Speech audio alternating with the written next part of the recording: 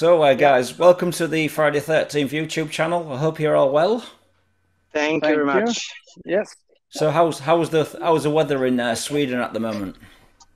Pretty good. Right now it's it's cold. sunny and uh, with with winter. It's sunny and cold, but it's uh, anyway it's great. We we're waiting for the spring. Yes. Right. Okay. So, I'd just like to say thank you for doing this interview for Friday 13th. Um, so I'm going to ask you some warm-up questions first. I mean, you guys have been around for many, many years. I mean, you started back in 1993, I believe. No, no, we started in in early January. I formed a band together with CJ Grimmark, January '96. Right. But I'm but it's correct. I met CJ Grimmark for the first time in '93. That's that is correct. But in that time, we were in different bands, and then he he was together with me. Uh, guesting because our guitar player couldn't play one tour in Germany with Modest Attraction, the band I had before. So uh, CJ joined for the last two tours in Europe uh, together with us. Okay, then. So I'm going to ask you both some warm up questions first. As a singer, Christian, who's your uh, vocal influences? Who inspired you to become a singer?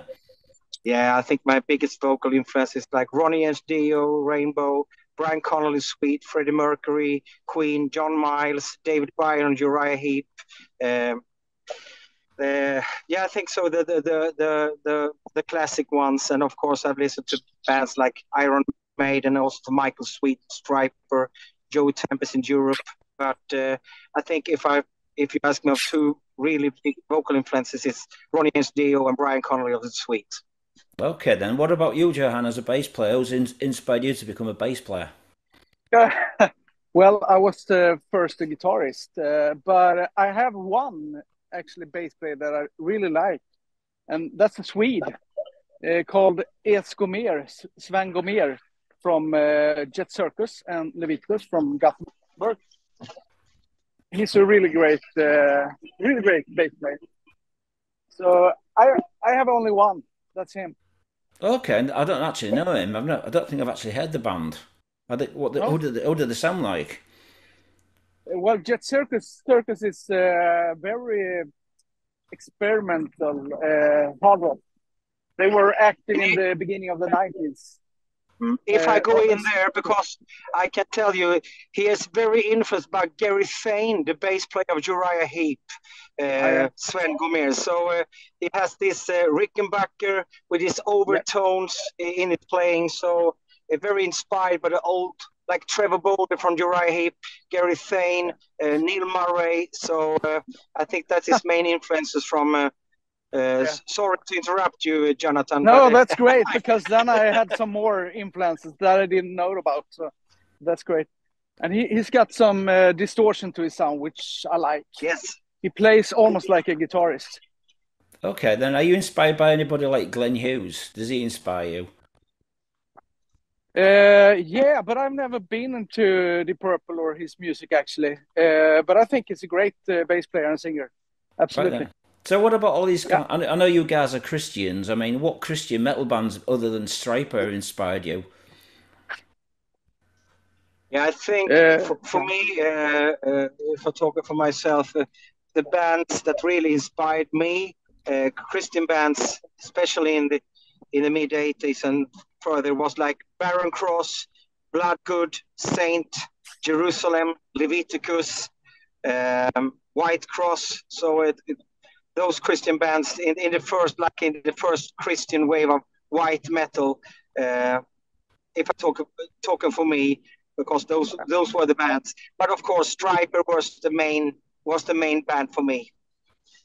What about you? I can say, yeah, exactly the same. Actually, Stryper was my main go-to band, and then I was into all the bands he mentioned, like Jerusalem and also Petra. Uh, yeah, so I, I, I think I know yeah, I think I've listened to almost every one of these bands actually growing up. All right, because for me, I mean, I'm, I mean, I, for me, Christian metal is is just music anyway. People criticize criticize Christian bands, but there's some really good Christian bands out there. I mean, I, I like the bands like Recon and Deliverance and Tourniquet. Ah, yes. You know, them sort of bands. Harder. And I also yeah, like. I, also... I, was, I was I was listening to Recon. That was a really good band. Behind the enemy lines. I yeah. yeah. Yeah. It's a shame. That, it's a shame they only did one album. But I also, but I also saw um, Deliverance at Bangers Open Air in Germany a couple of years ago. They were fantastic live. Ah, okay, yeah. yeah. I, I, I, was also listening to a, a UK band. I think they did some really good albums. Stairway, you know them? No, no, I don't. I don't know them actually. A very, a very good UK band. Yeah. No, I don't know. Them. I remember a Swedish band called uh, Veni Domine. I think they were called. Yeah, that's right. Ah, yeah. Um, yes, they're friends. You know, uh, they are really close friends. Uh, the brothers Weinesjö, I've released, uh, helped them to release some of the stuff, but uh, Torbjörn and uh, and Thomas, uh, the guitarist and drummer of Veni Domine, we had a band together with my brother in Audiovision. So yeah, we had a band together called Audiovision. You know, I mean, there's some, like I said, there's some really cool Christian bands out there, but the only thing I don't like is this Christian black metal. How can it be black metal and be Christian? I'm sorry, that is just bullshit. yeah. yeah, that's not my style either. I mean, Christian, I mean, you like black metal? One, one second, it's traffic here. one second. no problem. Uh, Yes, now I'm, I'm here again. Yes. Uh, Do you like any metal, black no, metal? No, I, that, I, I, think it's for me. It's yeah, uh, it, it, feels strange. I, you know, my brother was used to be in a band called Crimson Moonlight. I like the guys, but I, but I, uh, for me, it's very strange to call it Christian black metal because the uh, the, the styles. But it's it's my personal uh, view of it. Right. Then. But yeah again, uh, uh, you can express your your music in different uh, your your your message in different ways. But yeah, for me, I, have never been into the growling type. I'm more I'm I'm a more old school vocalist. I mean, I mean, yeah, just, just before we talk, carry on, uh, Christian. You was in a band called Divine. Was it Divine Fire? That's right. They, they were they, they, were excellent. They were really heavy for what you were doing. It's kind of like Arch Enemy, Nevermore, but with like clean vocals. Yes, you, you know, uh, because of my brother was used in a, uh, was a member in Sanctifica and uh, Crimson Moonlight, really ex- Christian extreme bands. I wanted to to to do a mix, and I had my IDs. And in that time, I met Johnny Stefanovic for the first time and uh, we did uh, those albums and i'm very proud of these five albums we did and uh, uh very happy for the way it turned out and uh, and we have continued now as the waymaker but we we don't have I don't have so much growling parts, but we still have that heaviness into the music. Yeah. All right, interesting. So, Johan, I mean, what band was you in before joining Narnia? What was your bands? Actually, I was in one of those bands before, and that's not my style either. But it was a band called Safe Mode, and they got uh, very much melodic parts parts as well. So much, you know, clean singing mixed with. So I was guitarist in that band. Uh, and they're pretty well. I, I, work with them. I have a record label, so I release all their music still. Okay, okay. So they are to... great friends of mine. You have to send me some of your products because I've got this YouTube Absolutely. channel. I'll check out some of the yeah. stuff. So, sure. Look, so yeah. talking about Narnia, then the first album released in 1996 on Nuclear Blast, or 98, sorry, Nuclear Blast. Um, what was That's your right. what was your um, what did you think of getting signed to Nuclear Blast back in the day, Christian? How did you feel? It was it was amazing because uh, uh, if I tell the story, it's really because we, we did that album in 96 and uh, it was during the, the grunge era. And uh, in that time melodic metal was not popular at all. So uh, it was really hard to find mus- musicians who want to do style like rainbow and, and europe. And was that we did the album and we got we got a fantastic deal in japan and the a&r at nuclear blast uh, bought the Japanese um, copy of it and bring it to the Markus Staiger. Uh, actually, Eddie Freiberger was the A&R at that time, and Markus Staiger, the owner, uh, uh, he said you have to check it out, check this band band out. And but I said no, no, we we have just signed Hammerfall. It's enough with melodic bands. We are harder and tougher style. So what happened was that what I've heard, he got our disc by a mistake went to his car in his Porsche, played, put the CD, and it was our CD, and uh, he was amazed about the song "No More Shadows from the Past." Called Eddie, what is this? And uh, please sign this band, and the rest is history. We got this fantastic deal with Nuclear Blast, and they were really pushing us. Tour with Stratovarius, Children of Bodom. Then later on uh, with Dio, and that tour was really huge impact for for uh, the metal scene during that time. And of course, as I said, one of my vocal heroes is Ronnie as Dio. So that that we got a fantastic push from the start with the Awakening album. So uh, yeah, and then Long Live the King, and it went on. We did four albums on Nuclear Blast. Then they changed A and R, and they wanted different direction. So we left the company uh, after our fourth album, and then went to Massacre for some albums. And then uh, when the album went out, since we have reformed again in 2013, we have released our album on our own, but we still have all the good distribution deals and licensing deals that we had the whole time. So, yeah, that's a short version of the whole process of Narnia. How do you feel about getting compared to like Yngwie Malmsteen a lot and that kind of thing? Does it does it really annoy you? No, no, not at all. And because we did it, and uh, I said it was a, it has been a huge influence on Narnia's music.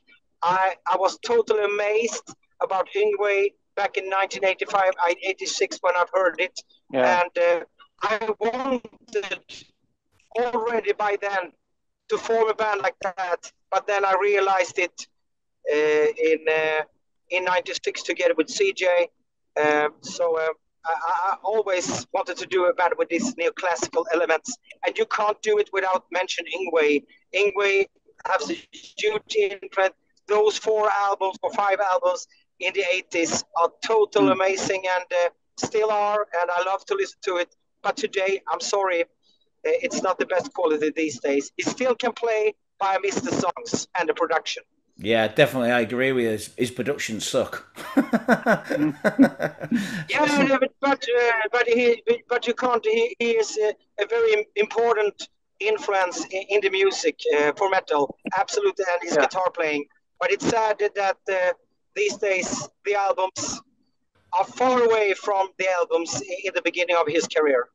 Yeah, I mean, I mean, when I listen, I mean, CJ did. Uh, he toured with uh, Rob Rock, didn't he? Did some Rob Rock albums. They were pretty. They must have been quite influential on the Impellitteri. Must have had some inspiration in Narnia's music. Fantastic, Impellitteri. Mm. I, uh, I, both me and Andreas Johansson was totally hooked on, especially Screaming Symphony album back in '96. I remember listening to that album, and in even today, I think it's one of the best uh, metal albums. 33 minutes, total metal. I love it. When I listen to it, I'm getting to the metal mode directly. Father, forgive them, they do not what to do. It's really great. Fantastic lyrics and fantastic vocals. Rob Rock, I love him. So, do you think you guys will ever go any any heavier than what you already are? Are you gonna are you gonna keep to the neoclassical style? Do you think you're gonna get some more detuned guitar sounds, or? I think anyway, you see the big process and the progress we have shown us Narnia through through the years, and if you see this album moving forward, this melodic hard metal and hard rock uh, with those elements. And uh, I think that that is what we, we will continue. Uh, try to follow the new album Ghost Town. I think it's a very good summary how the band has mm. progressed and that we always try to progress as a band in our production, in songwriting, in the way we express my vocals and CJ's guitar playing, Jonathan's bass playing, drums, everything. And I see the compo- compos- compositions and uh, yeah, the whole package. I'm very pleased uh, what we are delivering these days. So how, how was it? How was it to Andreas back in the band, Johansson? It must be great with it being a former Yngwie and Hammerfall.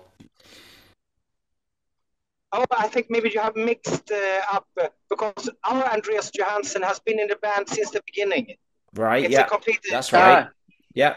But so it, some, sometimes it's Anders Johansson, but Anders actually guested with Narnia one show when Andreas couldn't play. So we that that was amazing to have uh, Andreas on board, uh, Anders on board. Yeah. Well, I mean, I mean, I mean, you guys were on Massacre Records. What actually happened with Massacre Records? Why did you leave? As I said, we want to have full control over our material, and uh, we, both me and Jonathan, we run record labels. We know, we know the business. We have good distribution channels. So we decided that from um, uh, from the from the album that we released in 2016 we continue to do it ourselves, and we we we hire the service that we wanted, and uh, and also that we want to have full control uh, over the band. Yeah, Johanna, you actually joined the band for the album Narnia, I believe. Is that correct? Uh, well, I joined just uh, after they made the album. I, I met um, uh, Andreas Passmark, the former bass player, when they took the photo for the for the CD uh, vinyl cover and then we went into another room and then we took photos with me so we had both so so he played on the album and then i made the videos and started to play with the band. Okay how did just you feel before it was released. How did you feel about joining the band? What was your what was your reaction when the, you got the job? Well i was very surprised actually because uh, i know i knew christian a bit uh, from before uh, and I really looked up to Narnia. And uh, at that time, I was guitarist, and I just had finished playing with Safe Mode, so I was without band. And I've been playing in band since 1986.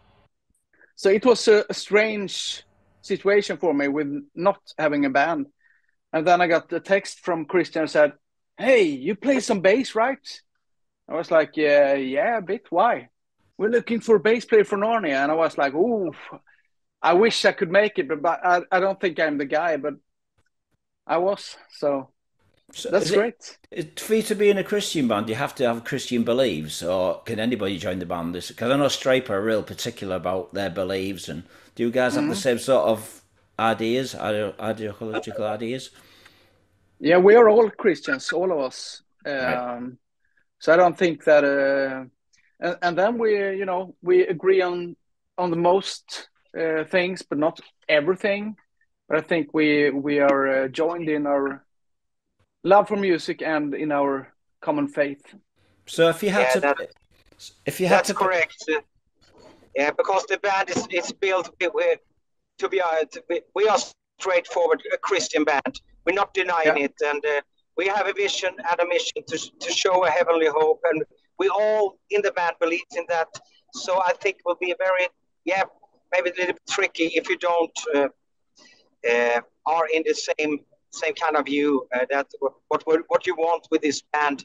Uh, so mm. for us, it's much more. Uh, we have a ministry to really to give something more than just music. We want to give a message. We want to give something, give a hope in this time, and we see it, especially now more than ever, uh, a big big need because I see the uh, uh, the unhealthy uh, scene. I meet so many people. I work as a, as a coach helping people. I see it as we we have something that we really think we want people to get in a better mood of listening to Narnia music.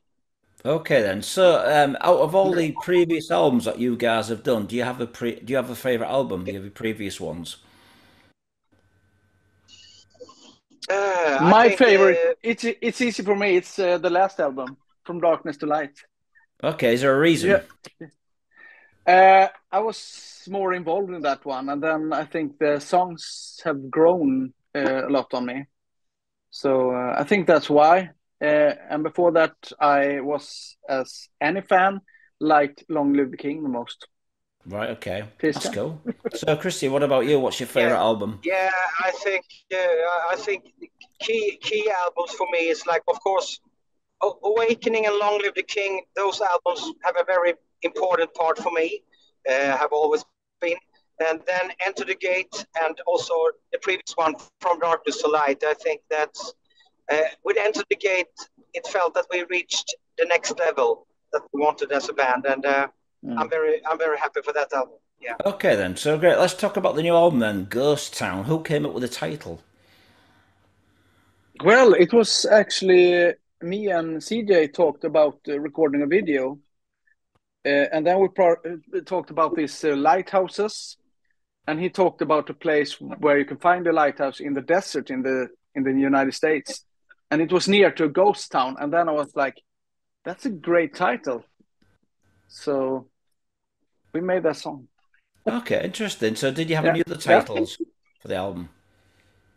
Uh, no, I, we we had another title for this album, uh, and it was Rebel, and then we changed name to Ghost Town. Why, why was it going to be called a Rebel? What was the reason for changing?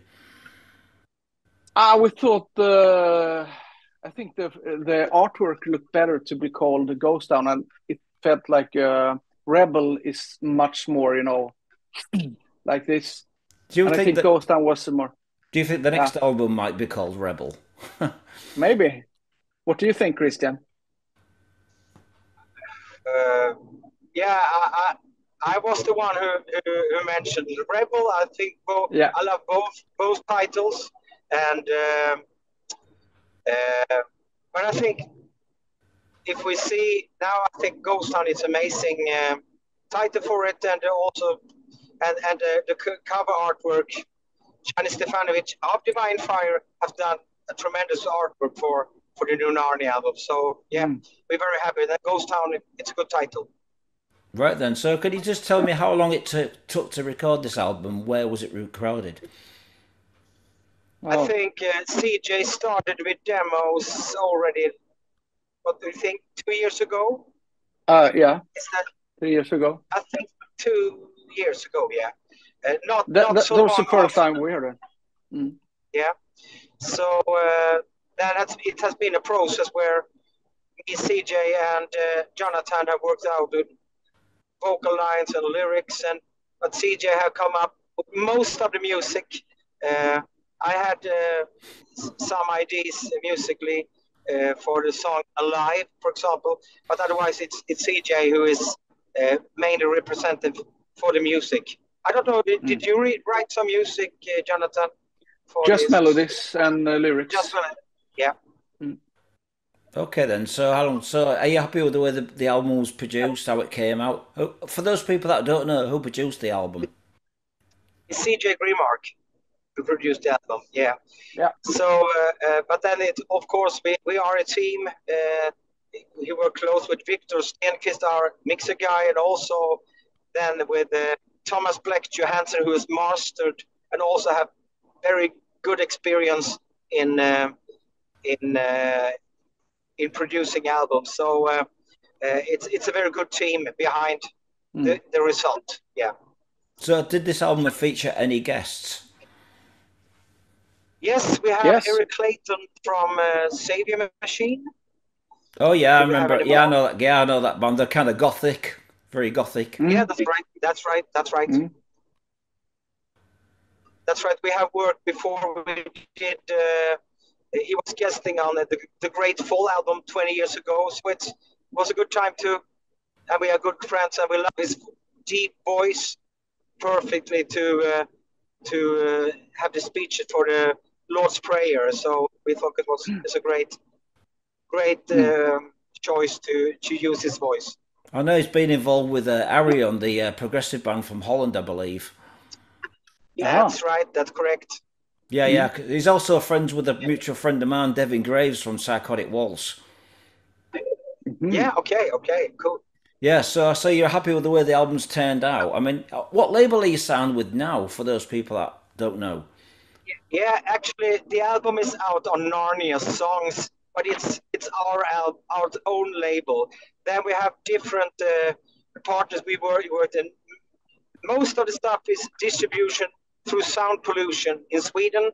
They are very good in hard rock and metal. And uh, then we had uh, a partner in Brazil. We have a partner in, in, in Mexico. We have a partner in uh, in uh, Japan. Japan. So it, yeah, and we we, we worked uh, with with good bigger distribution channels. Uh, and very close with sound pollution. So they are so it, it's our own label, but we work with good different partners, so we got it distributed good both uh, in the digital world and in the physical world. So is yeah. Sound Pollution based in Gothenburg or Stockholm? Because I've been to a record store Stockholm, there. Stockholm. Yeah, I've been yeah. to the rec- I've been to the record store. I've been to the record. Yeah, store. okay. In the old town. Yeah. Yeah. Drum tech for Anvil. I do the drum teching for Anvil, ah, okay. and I was out there with Anvil okay. last year, so we uh, managed to have a look in the store. So it's a quite interesting shop. So, so yeah. those so those guys are the the guys that look after you, the people at the store. Yeah, it's cool. You, you mean the the band Anvil that I did that movie? Yeah, oh, yeah, yeah. I, am Rob yeah. Robb Reiner's drum tech. Fantastic. Ah, yeah, cool. I'm a, I'm a I'm a fan since uh, uh, since many years ago, and it oh. it was wonderful. And I stopped listening to them again after this movie. Yeah, yeah. So because it's for us, it's like we haven't been playing in England since uh, I think since uh, year 2000. So a long, long time ago, we did a show in England with Narnia. So we, we hope to do more UK dates. I yeah, I'm a very big fan of uh, uh, of UK bands, especially now Cats in Space and that that kind of stuff. Old older stuff. I really love that. You have amazing bands in UK. I mean, if I'm correct, Christian, did you play a Christian festival in the UK? Was that the, the date you did? Yeah, we, we did. We did a Greenbelt festival. Yeah, I in, remember uh, that. Yeah. Yeah, in 2000. Yeah, that's right. That's the only one we have played played in in, in England.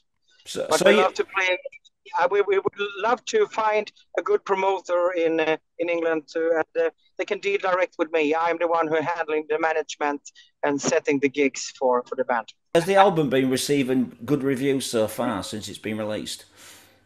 Yeah, really good, really good.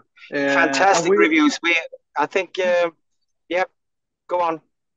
Yeah, I just uh, received another bunch of CDs today because the first uh, uh, first uh, pressing was uh, sold out just before the release date, so we had to order new, uh, and that was a good yeah. thing in these times.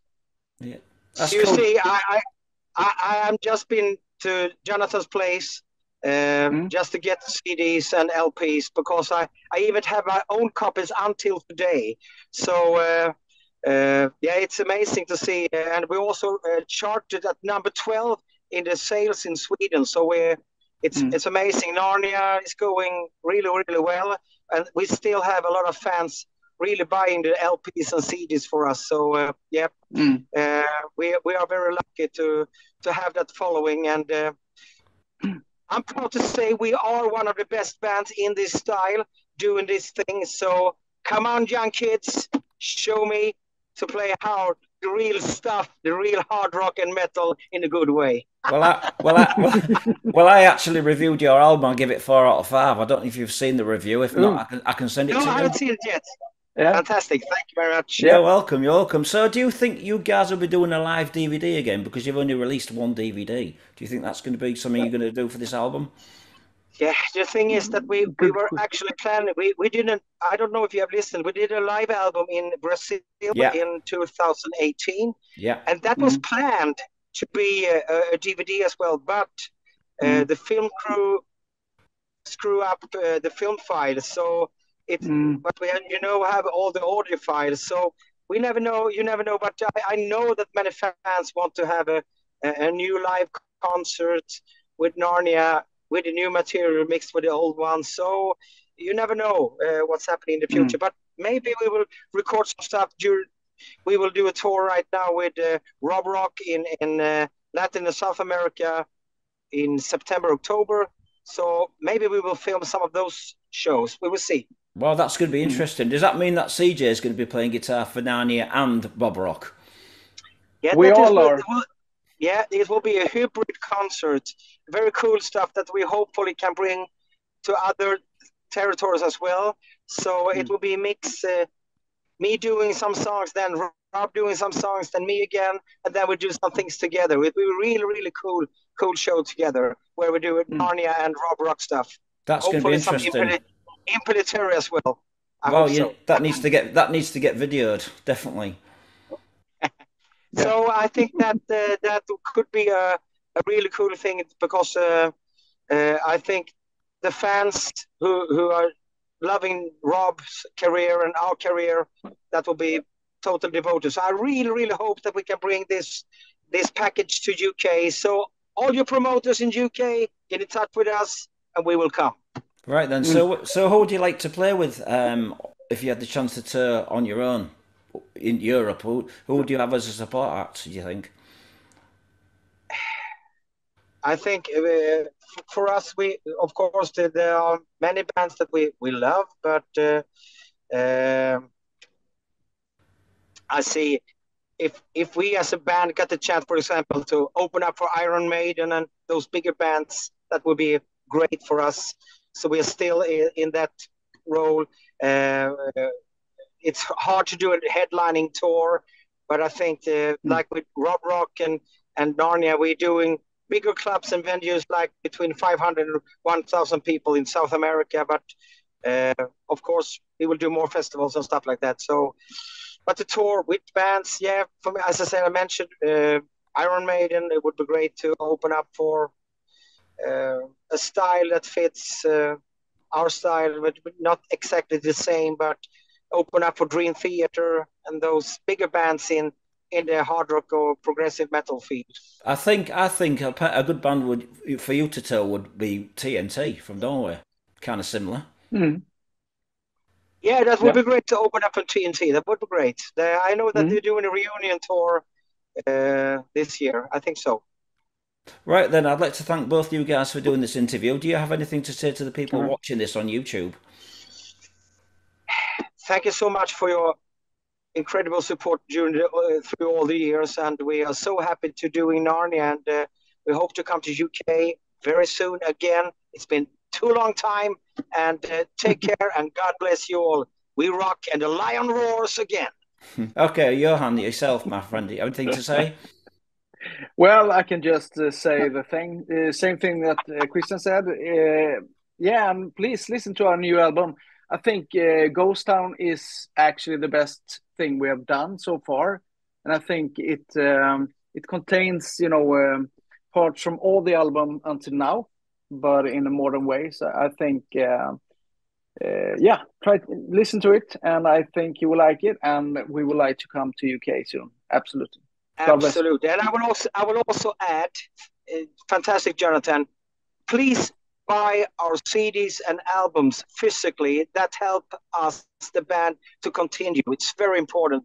Please support your band that you love in metal. Please support Narnia. Take care. God bless. Metal is the way. So uh, mm-hmm. have a nice day, both of you, and uh, God bless. And I'll you speak too. to you all soon.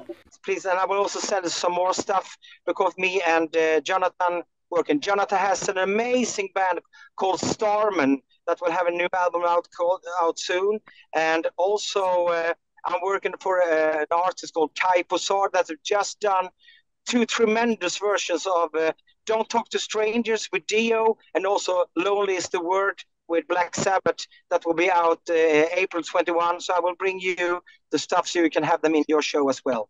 Have a nice day, guys. Thank you so much. Stay metal. You too. Cheers. Bye-bye. Bye. Thank you. Bye. Bye.